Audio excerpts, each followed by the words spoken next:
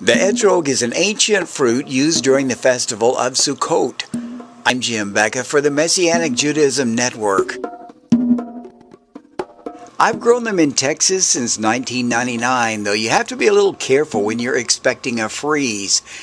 I've always had a lot of luck growing them, though I consider it more of a blessing.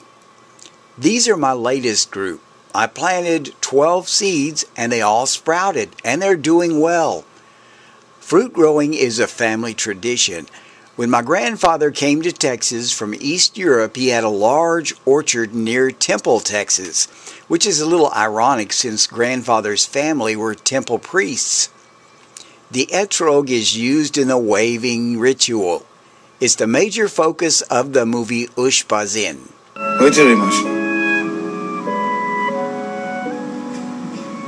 It's a great movie and has English subtitles. It's also available on the internet just Google Ushpizin. During Sukkot, many people substitute a lemon, which is a relative of the etrog. For the ceremony, you'll need a palm branch, three myrtle branches, and two willow branches.